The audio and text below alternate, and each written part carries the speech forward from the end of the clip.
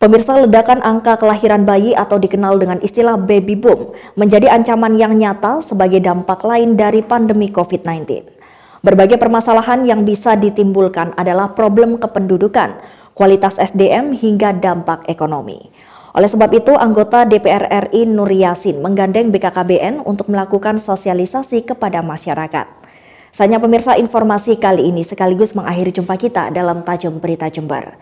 Anda dapat menyimak informasi tadi melalui website kami di www.jember1tv.go.id atau Anda dapat mengunduh aplikasi Jember 1 TV di Play Store.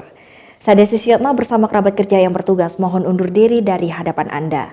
Terima kasih atas kebersamaannya, sampai jumpa dan salam. 1 TV.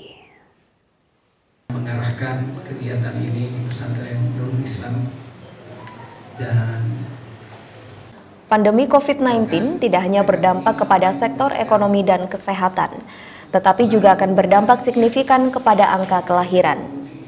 Mengantisipasi hal tersebut, anggota DPR RI Nur Yasin menggandeng BKKBN untuk mengadakan sosialisasi di Pondok Pesantren Nurul Islam atau Nuris di Antirogo Jember. Sosialisasi tersebut bertujuan untuk menekan angka kelahiran di tengah pandemi COVID-19 agar tidak terjadi ledakan angka kelahiran bayi atau baby boom. Acara tersebut dihadiri oleh Kepala Bidang BKBR dari BKKBN Jawa Timur Waluyo Ajeng Lukitowati, pengasuh pondok Nuris Kiai Muhyiddin Abdul Somad dan Gus Robit serta beberapa tokoh masyarakat lainnya. Dalam forum itu, Nur Yasin mengingatkan pentingnya strategi sosialisasi yang efektif program KB dengan melibatkan para ulama dan tokoh agama lainnya. Karena harus diakui bahwa keberhasilan program KB Indonesia yang sempat menjadi percontohan negara lain saat itu juga berkat dukungan para tokoh agama yang belakangan ini kurang diperhatikan. KB di kita ini udah agak surut. Dulu KB awalnya berhasil dan sangat berhasil kita menjadi contoh dunia uh, karena didukung oleh para kiai, didukung oleh para ulama dan tokoh agama pastur.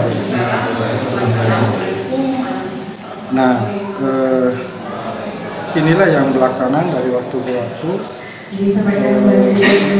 kurang kurang perhatikan.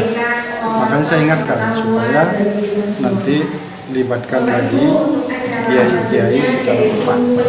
Oleh karena itu, saya minta acara ini saya tempatkan di Nuris.